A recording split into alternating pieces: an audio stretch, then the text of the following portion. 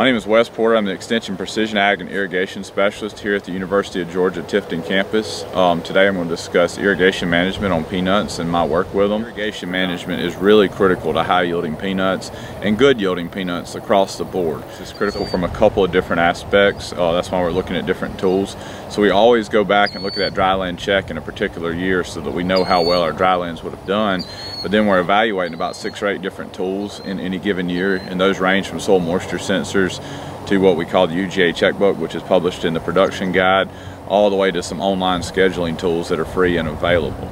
So growers should really be mindful of doing a very good job of utilizing one of those tools to manage their irrigation and in-season variability and climate variability, basically looking at the rainfall from season to season, week to week within the season because in a lot of our trials we've actually seen that mismanagement of irrigation both on the lower and the upper ends has the ability to significantly reduce your yield. So we can overwater peanuts um, and over irrigate those. So if we have a wet year like we have the past couple of years, you really need to be very mindful of using one of these tools to make sure we don't over apply irrigation to that crop.